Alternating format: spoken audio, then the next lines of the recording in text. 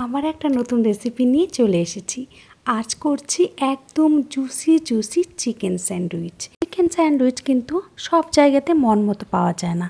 কোথাও কি হয় চিকেনটা খুব রাফ মানে শক্ত হয়ে থাকে বা কোথাও এমন যে স্যান্ডউইচ থেকে বেরিয়ে আসে পারফেক্ট চিকেন স্যান্ডউইচ কিন্তু সব জায়গায় মেলে না বলতে গেলে। আজ আমি যে প্রসেসে চিকেন স্যান্ডউইচটা তৈরি করব, সেটা একবার বানিয়ে দেখবেন, আমার মনে হয় আপনাদের কাছে খুব ভালো লাগবে। এটা তৈরি করার জন্য প্রথমে একটা প্যান বসিয়ে দিয়ে দিলাম ফুটিয়ে রাখা গরম জল মানে তাড়াতাড়ি হবে বলে এমনি জল দিলেও চলবে। তারপরে দিয়ে দিলাম চিকেনটা বোনলেস চিকেন দিয়েছি, আর দিলাম তার মধ্যে আদা, রসুন গোলমরিচ, লবণ আর একটা তেজপাতা দিয়ে এই পাঁচ থেকে সাত মিনিট ফুটিয়ে নিলেই হবে। তার মধ্যে চিকেনটা সেদ্ধ হয়ে যাবে।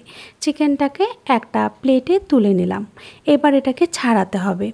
এভাবে কাটা চামচ দিয়ে যদি ছাড়ানো যায়, তাহলে কিন্তু খুব সুবিধা হয়। মানে একদম সম্পূর্ণ ছাড়িয়ে নিতে হবে। এরকম একদম টেনে টেনে একটা চামচ দিয়ে ধরে আর একটা চামচ দিয়ে টেনে টেনে ছাড়িয়ে নিতে হবে। এটা কিন্তু করতেই হবে। এটা হচ্ছে চিকেন স্যান্ডউইচের প্রথম ধাপ।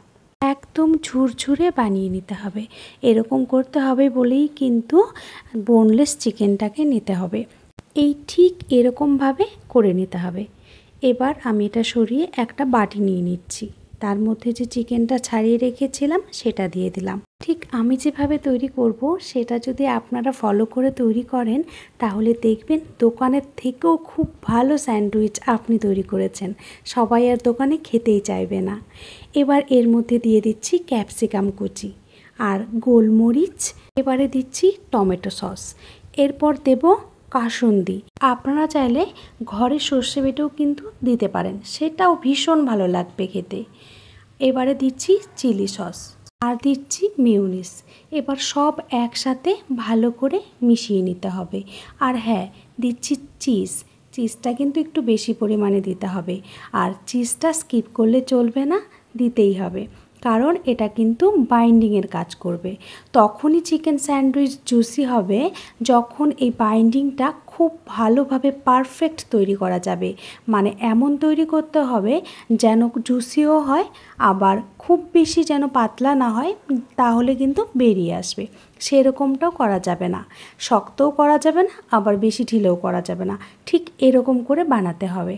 আর এবার আমি এখানে নিয়ে নিচ্ছি ব্রেড। আমি ব্রাউন ব্রেড নিচ্ছি। আপনারা চাইলে কিন্তু সাদা ব্রেডও নিতে পারেন। আমি যেহেতু সবসময় ব্রাউন ব্রেডই ব্যবহার করি, তাই ব্রাউন ব্রেডটাই নিলাম। আর বাটার দিয়ে দিচ্ছি। বাটার প্রথমে আমি চারটাতেই লাগিয়ে নিচ্ছি। এটাকে তারপর বাটার লাগানোর পর উল্টে দেব, কারণ এই বাটার লাগানোর সাইডটা কিন্তু উপরে থাকবে।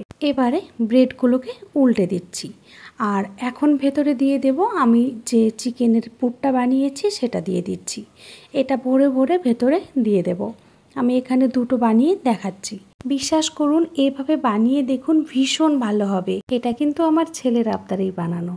ছেলেই একদিন বলেছিল যে চিকেন স্যান্ডউইচ বানাতে। তখন ভাবলাম যে ঠিক আছে, আবদার যখন করছেই, তাহলে ঠিকঠাকভাবেই বানানোর চেষ্টা করি আর সেটা আপনাদের সাথে শেয়ার করি। আর সেটাই আমি করেছি। এবার চিকেনটা দেওয়া হয়ে গেল, এভাবে স্যান্ডউইচটা বানিয়ে নিলাম। এখন একটা প্যান বসিয়ে প্রথমে হালকা গরম করে নেব। খুব বেশি কিন্তু হিট দিলে চলবে না। প্রথমে গরম করে তারপর আঁচটাকে কমিয়ে নিতে হবে। তারপরে ব্রেডগুলোকে দিয়ে দিলাম। এবার ব্রেডগুলোর এক পাশ হয়ে গেলে আবার আরেক পাশ উল্টে দিতে হবে। এই স্যান্ডউইচটা কিন্তু খুব তাড়াতাড়ি তৈরি হয়ে যায়। শুধু চিকেনটাকে একটু বানিয়ে নিতে হয় সেই বাইন্ডিংটা আর কিছুই ঝামেলা নেই। খুব সহজেই কিন্তু ঘরে যদি এরকম বোনলেস চিকেন থাকে, তাহলে আপনারাও তৈরি করতে পারবেন। আর তৈরি করে কেমন হলো আমাকে কিন্তু জানাতে ভুলবেন না। আমার তো এভাবে বানিয়ে ভীষণ ভালো লেগেছে। আশা করি আপনারা রেসিপিটি ফলো করলে আপনাদেরও ভীষণ ভালো হবে।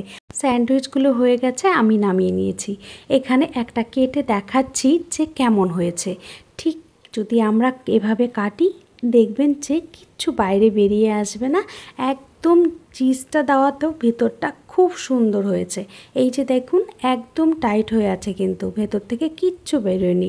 ব্রেকফাস্টে কিন্তু এই চিকেন স্যান্ডউইচ খুব সহজেই তৈরি করে নিতে পারবেন। আর হ্যাঁ আপনাদের কোন স্যান্ডউইচটা খেতে সব থেকে বেশি ভালো লাগে, আমাকে কিন্তু অবশ্যই জানাবেন। দেখা হচ্ছে আরেকটি নতুন রেসিপি ভিডিওতে। আজ তবে টাটা!